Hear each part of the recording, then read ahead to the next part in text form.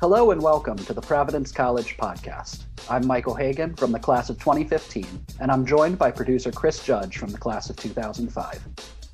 Today's episode takes us into the trenches of historical research and academic publishing, where American Studies student Daniel Rooney of the class of 2021 is turning groundbreaking findings about Russian immigrants deported from the United States in 1919 aboard the U.S. Army transport Buford into a chapter in a soon to be published book.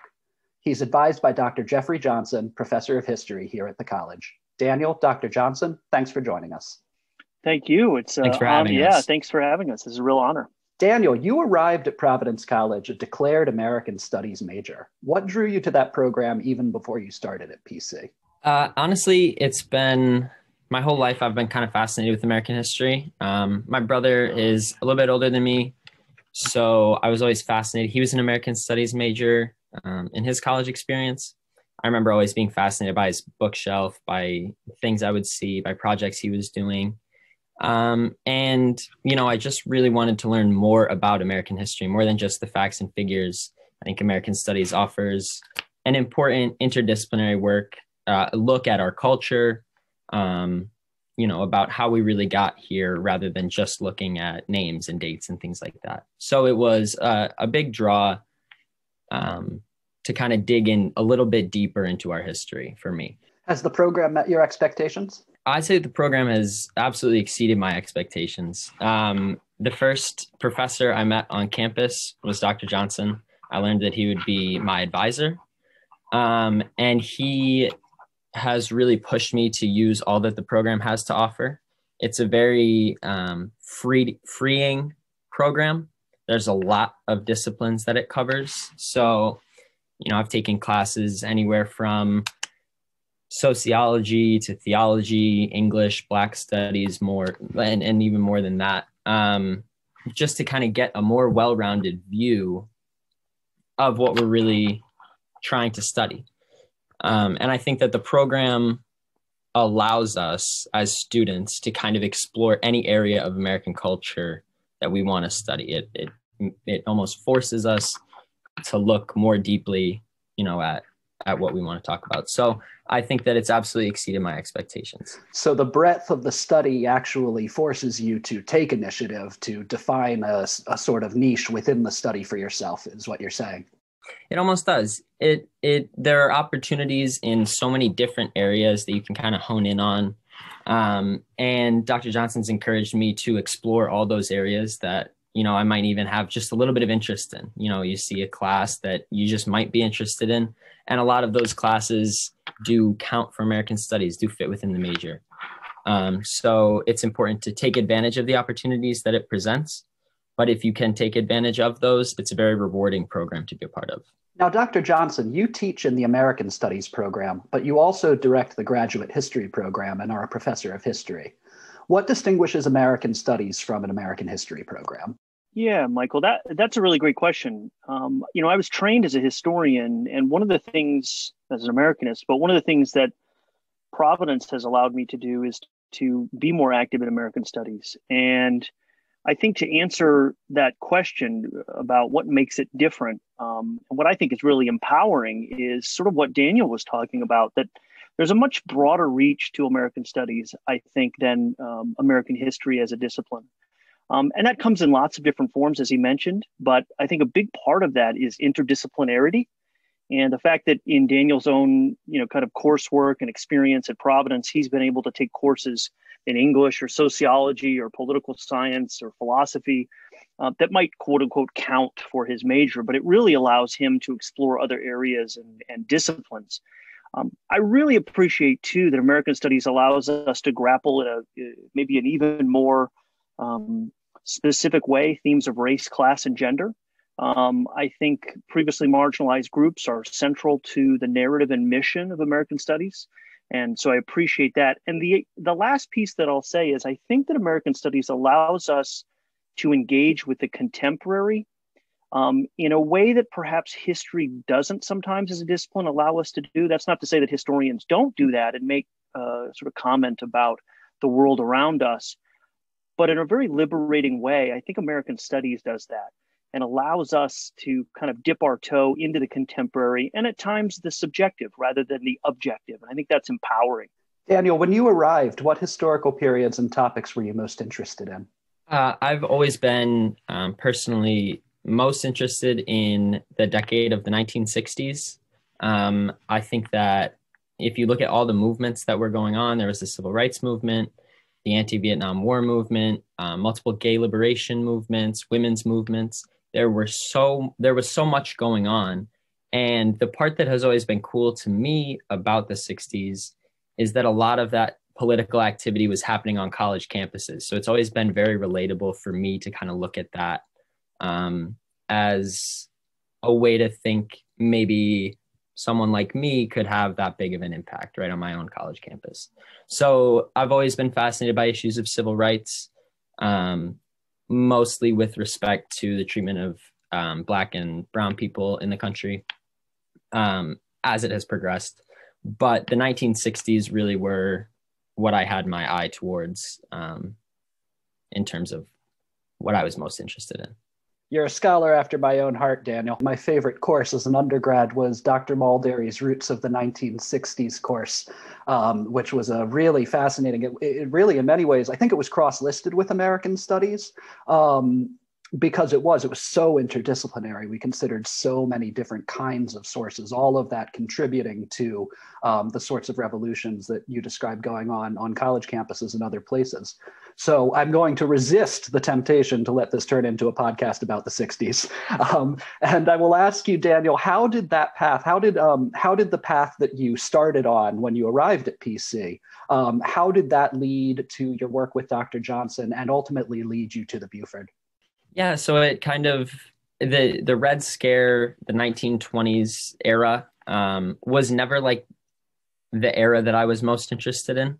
Um, but when we get down to a very basic level of the story we wrote about here, it's a story about how the country treats very vulnerable populations.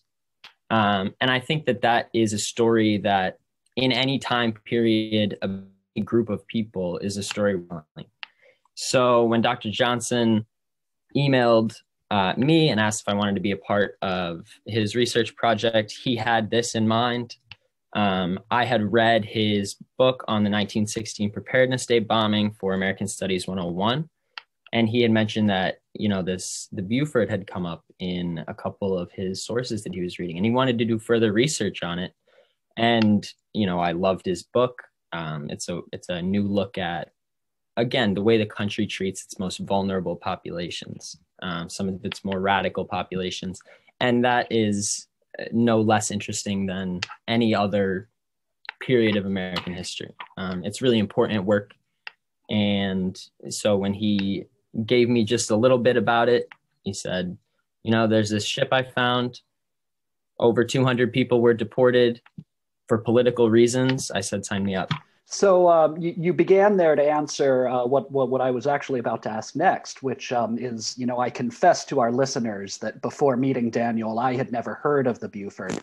Um, so Daniel, could could you tell us what was it? Uh, sure. On a on a pretty basic level, the USAT Buford was a cargo passenger ship um, that departed from Ellis Island on December twenty second, nineteen nineteen, at dawn and landed in Hango, Finland on January 16th, 1920.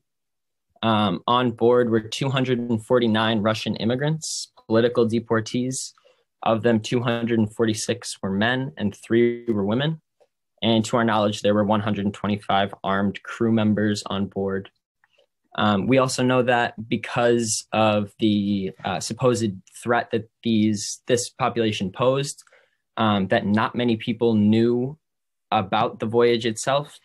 Um, there was a select group of people that knew when it was going to leave and where it was going. Um, and eventually, those 249, after landing in Finland on the 16th, boarded a train on the 17th and were returned um, to Terijoki, Russia, which is um, close to like modern day St. Petersburg. Dr. Johnson, could you set the historical scene for us a bit? It's 1919. The First World War has just ended. What's in the public consciousness and what's the political climate like in the United States? Sure. Um, I think, you know, Daniel's kind of work on this voyage and this ship really spoke to this broader context uh, and issue. And as he mentioned, it was the era of the Red Scare. And this ship, with uh, you know over 200 people on board, was dubbed in the press as the Soviet Ark. And so it was this kind of uh, out of sight, out of mind mass deportation effort. And it came from a couple of contexts. During World War One, uh, amid all of the kind of patriotism that surrounded it, uh, there wasn't a unanimous sentiment that the United States should be involved in World War One. Um, we were certainly nervous about disloyalty and radicals uh, in the population. And so, from various constituencies, there were real concerns surrounding World War One. To really answer your question about the consciousness and political climate, on the left, there were a number of people concerned about a growing militarism that they saw on the rise. There was concern about the intervention or the thought of intervention in Europe in a European war. There was concern too about conscription, which was a very hot button issue uh, about instituting a draft for such an effort. And so there was a lot of dissent. There was a lot of pushback uh, toward militarism, towards US involvement, and so on. As Daniel alluded to really nicely, on the right, there was a real growing sentiment, I think, of anti radicalism. Um, and connected to that, as he mentioned, anti immigrant attitudes. And so it wasn't uncommon for folks who, as Daniel mentioned, who were Russian immigrants to the United States to be identified first as some of the most disloyal among the United States population. And so, even broader than that, just a general concern about patriotism and loyalty. So, I think all of those issues are kind of wrapped up in this story here. So, Daniel, where do the unwilling passengers of the Buford fit into this historical scene? Absolutely. Dr. Johnson, I think, set the stage very nicely. Um, what we have with the Buford in at least our estimation, is a real like material event that codified kind of the anti-immigrant sentiment. Um, they were Russian nationals, the 249 that were deported. Um, we know that many of them were swept up in either the Palmer raids or other raids of meetings of the Union of Russian Workers, um, places that they knew a lot of Russians would be meeting. Um, we know that a lot of those arrested were soon released. Um, it was meant to kind of send a message to a lot of the Russians in the country about what could happen if they continued meeting and expressing their ideas freely.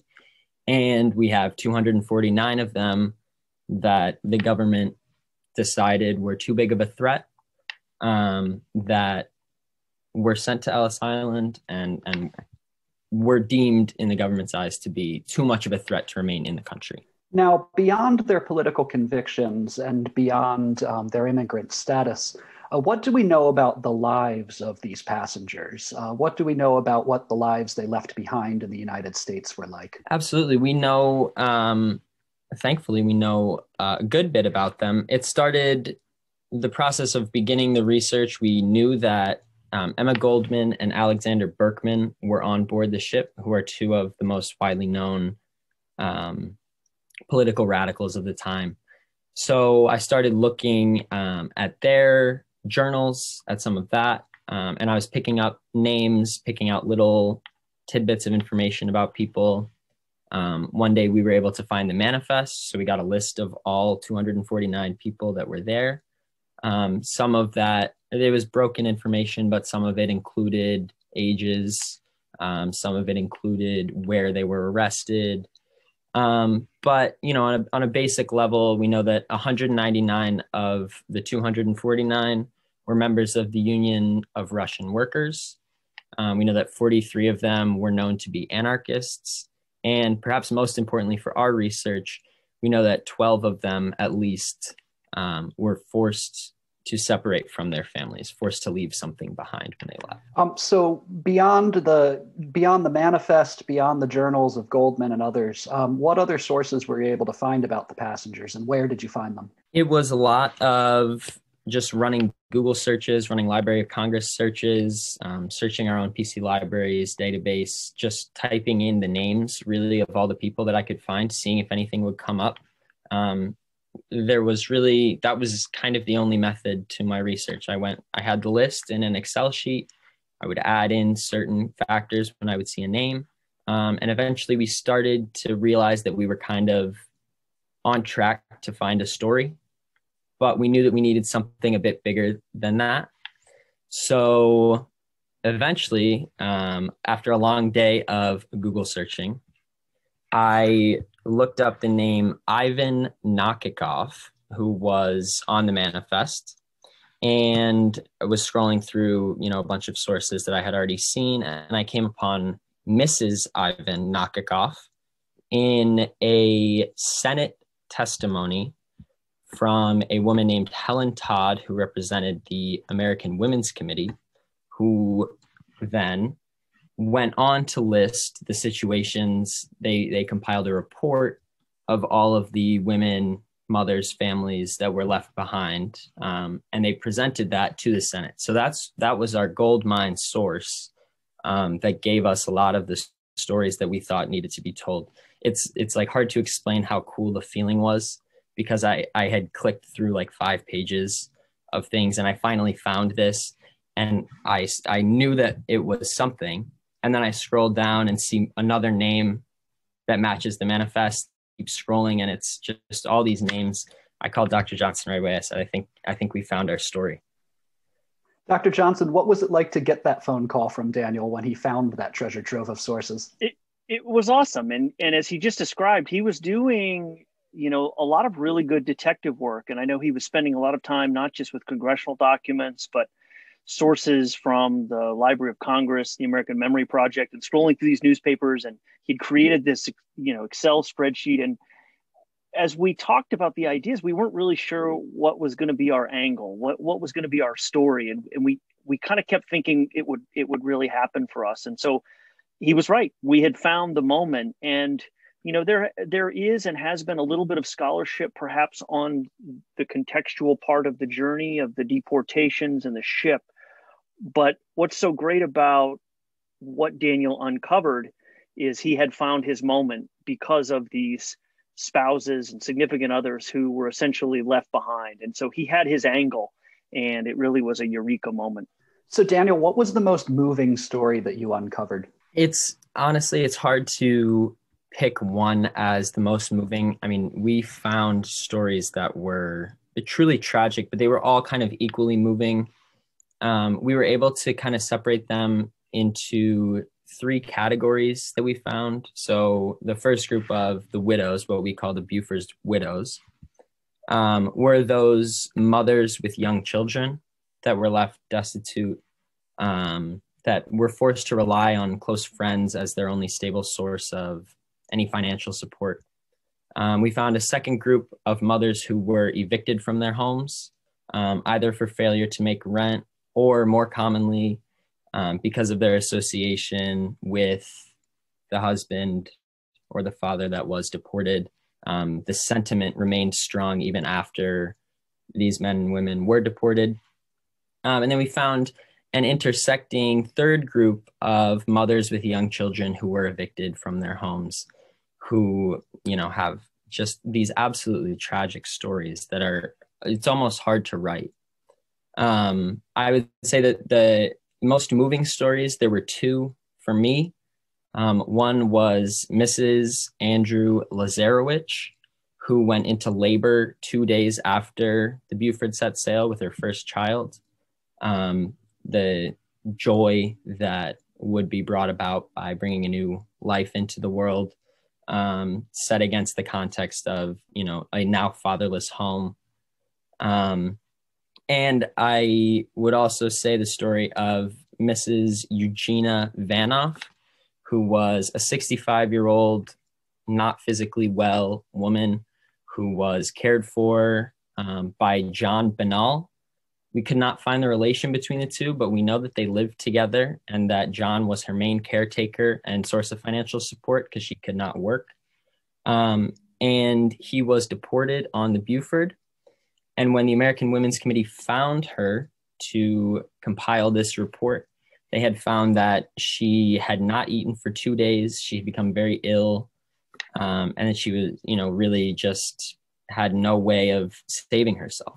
So, those, I think the story about the mother who goes into labor and brings her first child into the world two days into the voyage, and the elderly woman who relied on someone for her source of income, for a source of stability that now is hungry with no way to support herself were probably the two most moving stories um, that that we found. Such heartbreaking stories. Daniel, do we know anything more about the deportees once they arrived in Russia or the families that they left behind? We don't have a lot of evidence about what happened, what might have happened to these um, deportees once they got to Russia.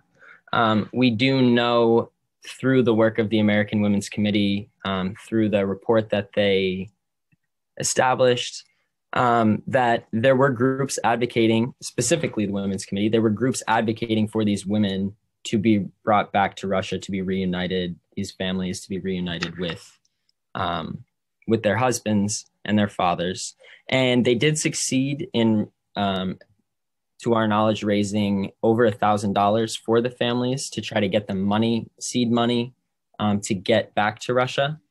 Um, but we also know that the reason that Helen Todd was testifying in the Senate is because she was looking for help obtaining passports for these women.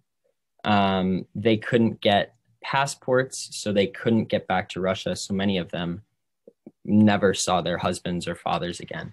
So, Dr. Johnson, when you realized that this project could be worthy of publication, um, and, and, even before that point, um, how did you begin to shepherd Daniel's research and, and, this process of moving from idea to research to execution to publication? Yeah, thanks. That's a it's a great question. Uh, the process was kind of an interesting one. Um, I had gotten interested in this topic um, with my last book um, on San Francisco, and and that was kind of framed in this context of the Red Scare and so on. And almost as a footnote, um, the Soviet Ark and the Buford is kind of mentioned. And so I thought this would be a fun idea at some point to kind of pick up and dig a little bit more um, on these deportations. And so I submitted a conference proposal for May of 2019 um, at the University of Newcastle in England. They had a conference on 1919 uh, as this kind of global challenge uh, of peace was the theme. And there were some really incredible scholars there. So I, I kind of had this idea and I kind of wanted to do a little bit more uh, on the deportation. So that was in the works for me to go. I think it was sort of at the end of May after the spring semester had ended. But meanwhile, um, the undergraduate research committee sponsors this summer research grant, and that's through the Center for Engaged Learning. And so I saw that solicitation. That's when I reached out to Daniel and said, Hey, I'm going to start working on this. I know I'll be presenting on it. Um, I'll let you know what kind of feedback I get, you know, when I come back to the U.S. and and and if you get it, we'll go from there. And that's kind of how um, the project got underway. It's sort of origin story, if you will. And we were kind of um, off and running. And so that that was the initial phase of it. And then I think by the fall of 2019, the conference organizers started to do a little bit of follow up, and and particularly Professor Matthew Perry himself, a labor historian at Newcastle reached out and asked Daniel and I if we would like to have our um, essay included in the volume uh, as a chapter. So we made the revisions and the proposal went off to the University of Liverpool Press. And I think we signed the contract in October of 2020. So it is officially forthcoming. So that's kind of the, the story of, of where it came from and, and kind of the investment by some kind folks at the college and the project, and then sort of how it came to fruition in terms of the publication. Um, were there other opportunities that presented themselves to to present the work? Uh, will there be other opportunities in the future? I I think on on the one hand, yes. Um, I know that Daniel was involved in the Center for Engaged Learning's, you know, celebration of scholarship and creativity um, before I think the pandemic um, settled in. Um, and so we we certainly had that opportunity for Daniel to show off what he had been up to under the auspices of of the research grant. And I hope that we'll get to do something else with it. Um, I'm kind of secretly hoping that they'll do some kind of book launch or something. And as the world settles into normal, Daniel and I will get to go to the UK or something for that. We'll see. Daniel, what have you learned about academic publishing through all of this? That's a good question. I think um, Dr. Johnson has taught me a lot about kind of the mental aspect of what to do with work that you do because you feel like your own work is very important and you know there might be at least for me like a little voice in the back of your head that says well you know what are the odds that anyone else cares about this? But it's about taking you know the first step not being afraid to just send it out to whoever wants to read it. And the worst thing they say is no. Uh, another option is that they review it for you and give you feedback. And a third option is that like with professor perry you know it, it he wants it to be included um, as a chapter in a book. So it's really about the mental side of finding a story worth telling and then not being afraid to just send it to whoever will read it. Yeah and being persistent and being persistent with the revisions and those kinds of things because they you know they didn't agree to publish it i think sight unseen. You know we had to go through a couple of uh, revisions and and so before we got the contract you know it's hard work. And you know daniel knows as well as anyone, he'll probably say that it, you know it, it, takes a little bit of tenacity in that way too to to continue to get revisions back, make revisions, those kinds of things uh, on the path to publication. It's a it's a challenging process, but it's a fun one. Daniel, did you, over time, did it begin as something that was uncomfortable, unfamiliar, and become something that you kind of became more familiar, more comfortable, more confident with? I mean, I'm, I'm thinking of the familiar term imposter syndrome, which uh, anyone who's tried to do any serious academic research or writing knows of. Um, it, it, it, sounds like you were able to defeat imposter sy- syndrome pretty soundly. Um, but what was that process like? I mean, obviously, at the beginning, I knew that this was something that Dr. Johnson was very interested in. Um, and I, I, all I had was really just like an initial kind of gut reaction that I wanted to be a part of it. But I didn't know anything about it. So it was hard for me to kind of develop any strong, I guess, passion for it maybe at the beginning. Um, it was really once I found the source, it wasn't about finding the source, but once I found the stories that I felt needed to be told.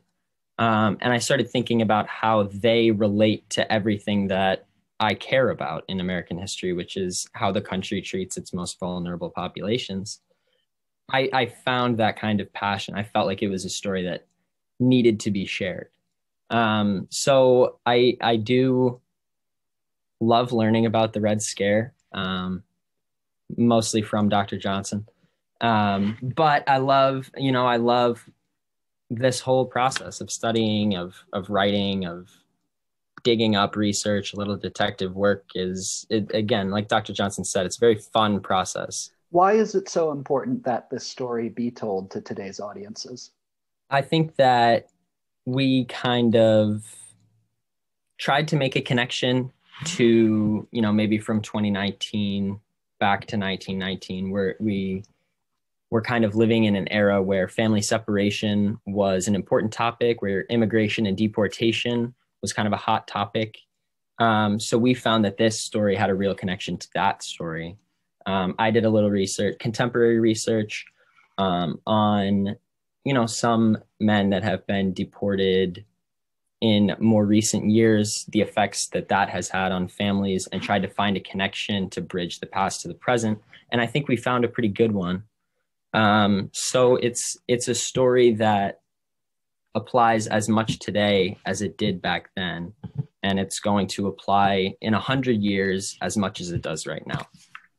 So, Dr. Johnson, in terms of the historical field, um, what kind of contribution does Daniel's research make to the field, and what are its implications? Uh, that's a great question. I I think two things. One is what Daniel was able to uncover, and I think what we were able to write up, um, is he's able to do what is essentially social history at its best. He's putting a very authentic voice and face to the experience not only of radicals, but also family members, which in the historical narrative wouldn't necessarily be front and center. And so he's able to use these primary sources and original testimonies and the Senate Commission and all of these kinds of reports to tell that story and so that was our again our eureka moment where we knew that that was that was the angle that would be of significance but the other thing just to dovetail off of what daniel was just mentioning um, and part of what i'm particularly proud of um, of daniel and, and and about his work is that he's thinking and thought eh,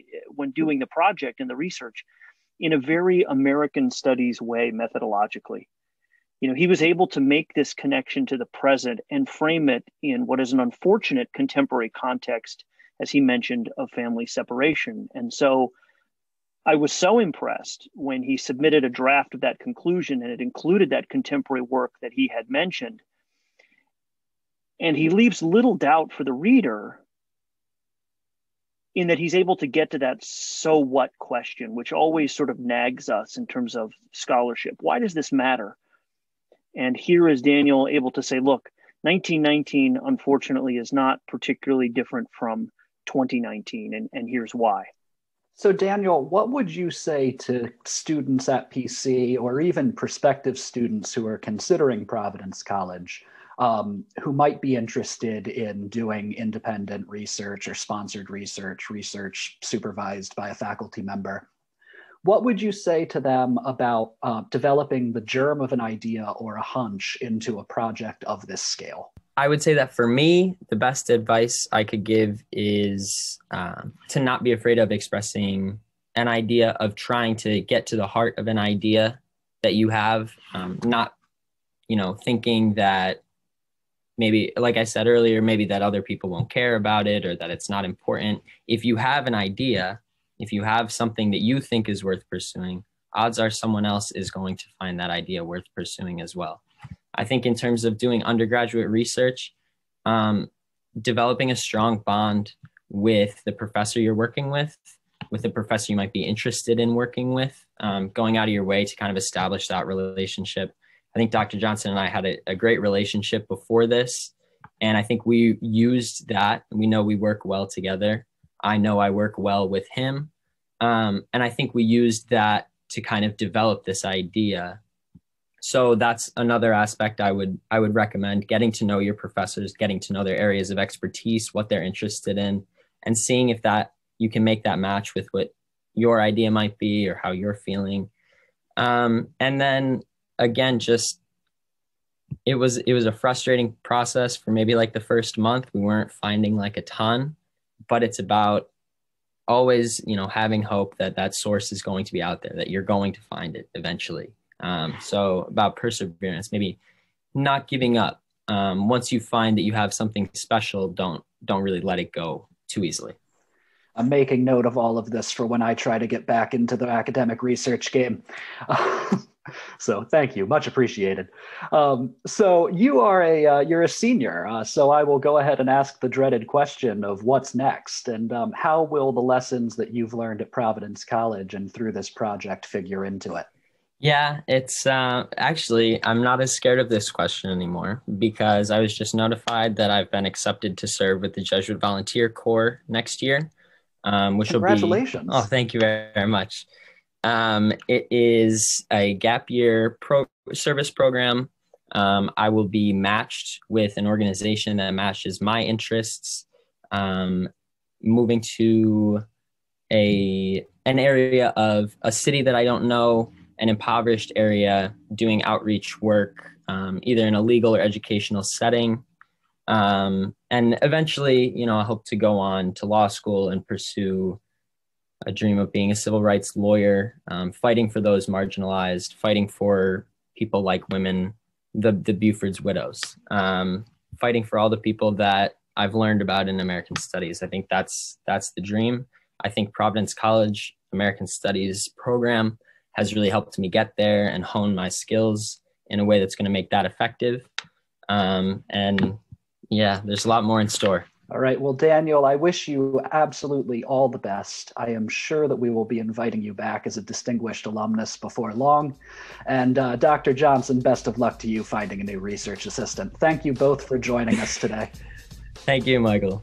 Thank you, Michael. This was a lot of fun. Subscribe to the Providence College podcast in all the usual places, including iTunes, SoundCloud, Stitcher, Google Play, and Spotify, as well as your smart speaker. If you like what you hear, please review and share with others. Thanks for listening, and go Friars.